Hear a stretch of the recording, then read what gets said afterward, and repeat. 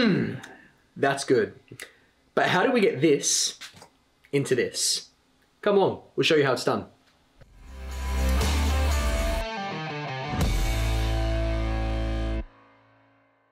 Welcome back brewers and beer lovers to Flying Wombat TV, the channel where it's all about making fun and creative styles of beer with science and biotech involved. So lately we've done a lot of videos around, you know, brew days, around yeast propagation, around, uh, you know, mean beers, all that kind of thing. Uh, but we've had a bunch of you guys asking about how do you actually go about canning beers. So it's time to get into that today. Uh, we're gonna show you the full process for how to get your awesome beers into these guys. So uh, let's get into it talking about the setup that you're gonna need and the kind of equipment you're gonna need to actually put the stuff into the cans, first thing is pretty obvious. You need a canning machine. So we use the Cannular. Uh, there are a couple different types of machines on the market for like, you know, the homebrew scale.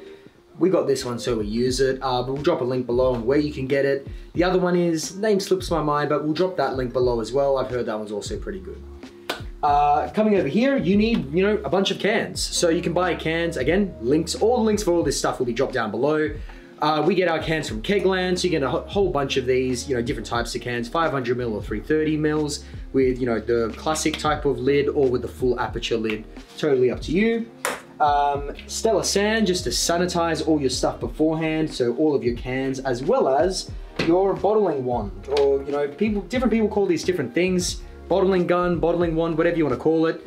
Uh, so our bottling gun uh, basically connects from here to our keg. So our beer line connects to the keg. We've got a gas line that connects to the gas. This gas also connects to the keg to keep pushing the beer through. So you need CO2 and a keg full of beer.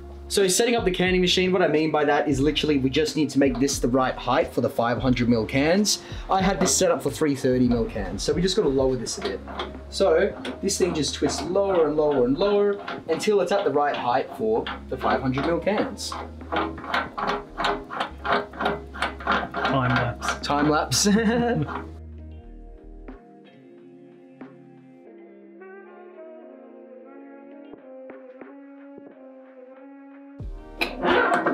All right, now that that's done, nice and easy, uh, you basically want enough pressure so that as you pull this lever and the lid of the can goes up into the top thing, you want enough so that you feel a little bit of pressure, you know, putting that last little bit of the lever, but not so much that it crinkles up the whole can and crumples it, basically. You don't want it to be loose, you don't want it to crumple it, you want it in that nice little Goldilocks sweet spot.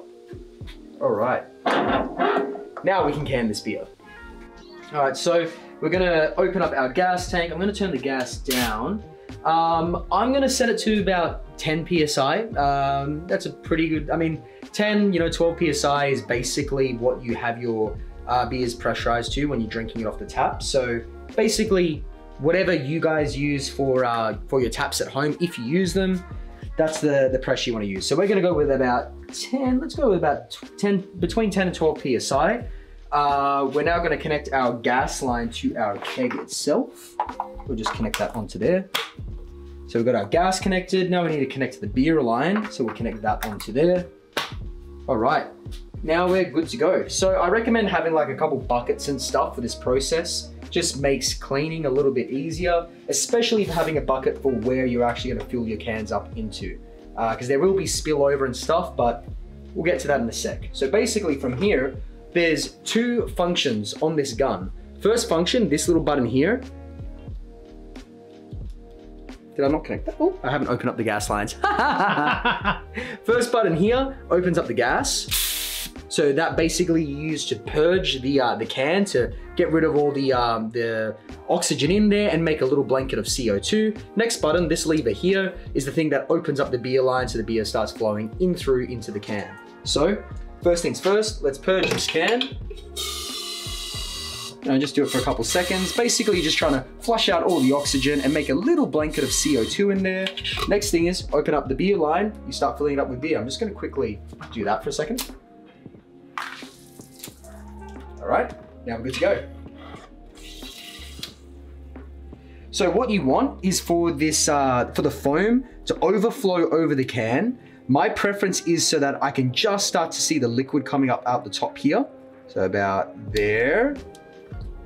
Alrighty. So we've got our little blanket of um, you know, foam and stuff coming out of the can. That's a good thing. This process is not neat. Now we close off this thing here so that we don't get, it's just a splash guard so that we don't get sprayed with beer, as good as that sounds. And then we click this little button here. So now you've got these two like uh, teeth things on either side that come in and uh, and put pressure on the can as it's spinning at really high speed, and that basically screws and seals on the lid onto the can itself. So we'll show you again, and uh, we'll get the camera to zoom in so that you can actually see it.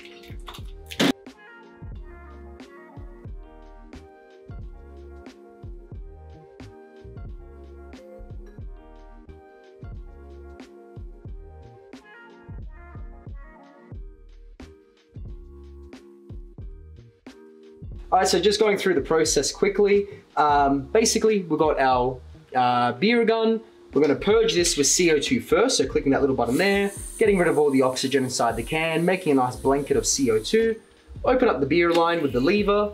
So it comes out of the, of the, uh, the uh, beer gun into the can. As the foam starts to overflow over the top, we drop the lid onto it, and then we throw that straight into the canning machine. So we're about to overflow, there we go. So we want that foam to protect the rest of the beer from uh, the environment, from oxygen. Now we close the lever on that, that's pressed nice and tightly into the top, um, I don't know what those things are called, the rotating thingies. Now as we click that button, each of those things are gonna put pressure on either side of the can, sealing the lid onto the can itself. And there you go, a fresh can of beer. So there you have it, guys. Simple as that. That is how you can beer. So, um, pretty pretty simple process. We will do a whole video, uh, you know, coming down the line on the benefits, the pros and cons of, say, canning versus kegging versus bottling, all that sort of thing. But, uh, you know, for the meantime, thanks for watching. Cheers and uh, brew on, guys. Hmm. Before I forget, mm, that's yum. Before I forget, don't forget to like and subscribe if you're enjoying this channel, really helps us out a whole lot, and leave plenty of questions down below if, if you're wondering anything about the process or if there's any future topics that you want us to dive into.